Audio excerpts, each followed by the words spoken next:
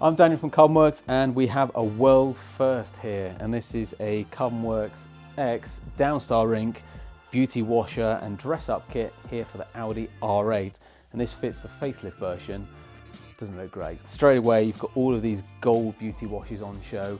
These are available in quite a few different colors as well as titanium as well. But this is the first one that we've developed here at Carbonwurks and we've got our guys over in California Downstar Inc to put together a nice kit for us which we've installed here today so this is the first of the first one that we've ever done hopefully many of these are going to be sent out the door in the coming months and weeks.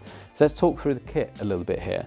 So the idea of the dress up kit is it replaces some of the standard bolts and fixings which are just a generic, sometimes stainless steel, sometimes just mild steel, and it changes them to a aluminium which is anodized beauty washer and a stainless steel washer, oh, sorry, stainless steel bolt as well.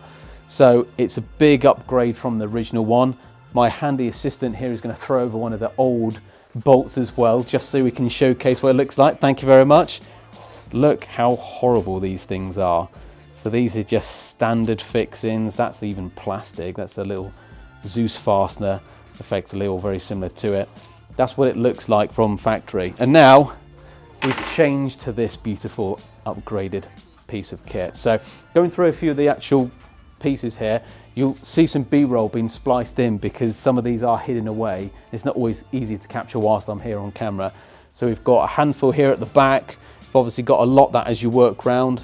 Uh, you'll see some at the sides here. So you've got the side pieces, engine bay glass cover here at the back or whatever you want to call it. We've got some more down here. Some at the front. We've also got some from the intake manifold throttle body here as well, as well as some on the firewall. There's also a couple hidden which you'll never see but we know they're there and that's what makes a big difference. So we've got some of the additional fixings that actually hold the front of the cross brace here, which as I said, you'll never see, but we can replace them because it needs to be done, doesn't it? Just it's nice for the mechanic if they ever work on it. And I'm looking round and you can see a few more tucked in the sides here. So as you look around the car, there's actually quite a few installed. Um, you just may not necessarily straight away pick up on it. But we're really happy how this kit has come out. As I said, enjoy some of the B-roll, which will showcase some of these actually being installed. Big upgrade and uh, have a look on our website for this exact kit.